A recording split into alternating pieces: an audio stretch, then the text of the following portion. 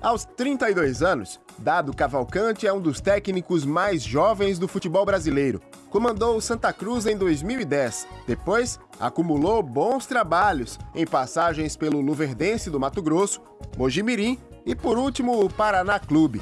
Agora, o treinador pernambucano se prepara para um novo desafio no Curitiba e aproveitou o finzinho das férias para um papo com o replay. Uma, uma responsabilidade grande de comandar uma equipe da Série A, mas o mesmo, o mesmo tamanho da responsabilidade é a oportunidade que eu estou tendo.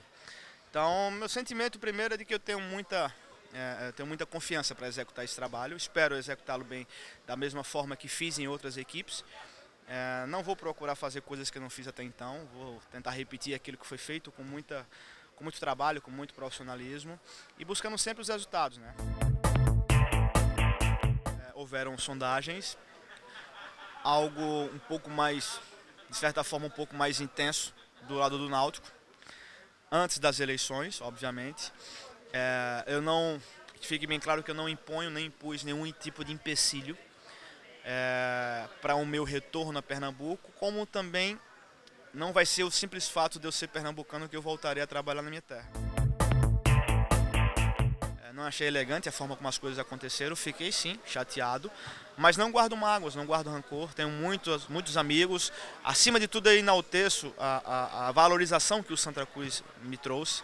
Talvez eu tive naquela oportunidade o maior, é, é, o primeiro momento de, de divulgação nacional, disputando a Copa do Brasil, desclassificando o Botafogo no Engenhão, trazendo uma classificação que há muito tempo não vinha para o clube, com muitas alegrias.